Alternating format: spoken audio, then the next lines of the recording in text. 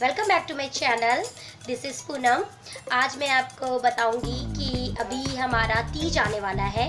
सारी married women बहुत ही excited होगी कि तीज के दिन हम कितने ब्यूटीफुल लगे और सबसे ज़्यादा ब्यूटीफुल लगे और तीज के दिन मेकअप करें तो हमारा फेस धमकता रहे, हमारे फेस पे ग्लो आए।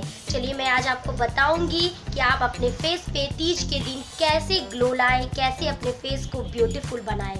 चलिए मैं आपको बताऊँगी कि वो नेचुरल इंग्रेडिएंट्स है, वो आपका घर पे ही अवेलेबल होता है। सारे लेडीज़ के किचन में वो ब्यूटी टिप्स अवेलेबल होता है, वो इंग्रेडिएंट्स अवेलेबल होता है। चलिए गाइस मैं बताती हूँ कि वो हमारा क्या इंग्रेडिएंट्स है।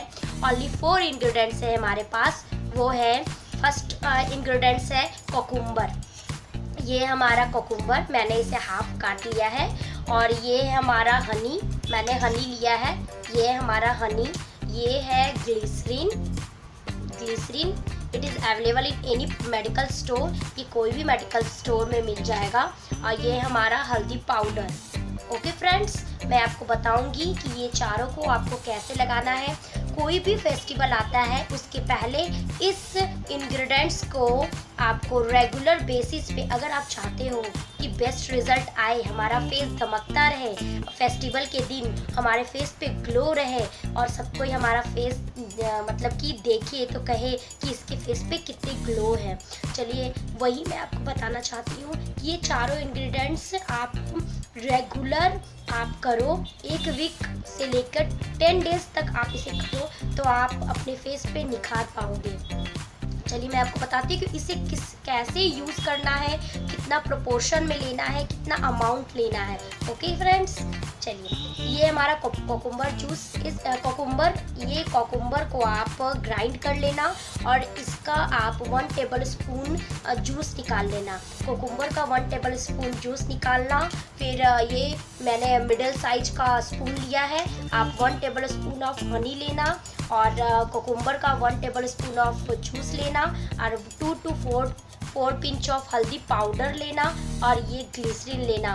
आ, ये ग्लिसरीन आप हाफ़ टेबल स्पून भी ले सकते हो ओके इस चारों इंग्रेडिएंट्स को आप अच्छी तरह से मिक्स कर ले। मैंने ये चारों इंग्रेडिएंट्स को अच्छी तरह से मिक्स किया है।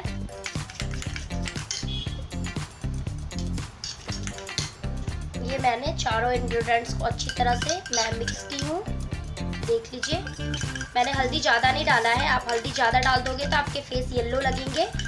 इस इंग्रेडिएंट्स को मैं फेस पे लगा के नहीं दिखा रही हूँ।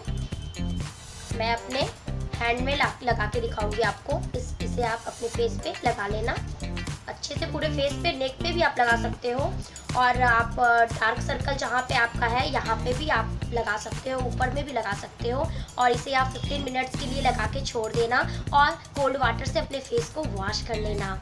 आप इसे रेगुलर बेसिस पे टेन डेज़ करोगे गाइस तो आपका फेस फेस्टिवल के दिन, तीज के दिन आपका फेस में ग्लो आ जाएगा, आपका फेस धमकता रहेगा और आप रेडी होगे मेकअप करोगे तो आप बहुत ब्यूटीफुल दिखोगे। ये चारों इंग्रेडिएंट्स हमारा नेचुरल है, इसके कोई साइड इफ़ेक्ट नहीं है, आप इसे ज़रूर करना और आपको ये रिज़ल्ट ज़रूर दिखेगा। Okay friends I hope you like my video it get big thumbs up and subscribe my channel आप मेरे चैनल को ज़रूर सब्सक्राइब करना। लाइक करना और सब्सक्राइब करना बिल्कुल फ्री है। Bye friends bye bye take care yourself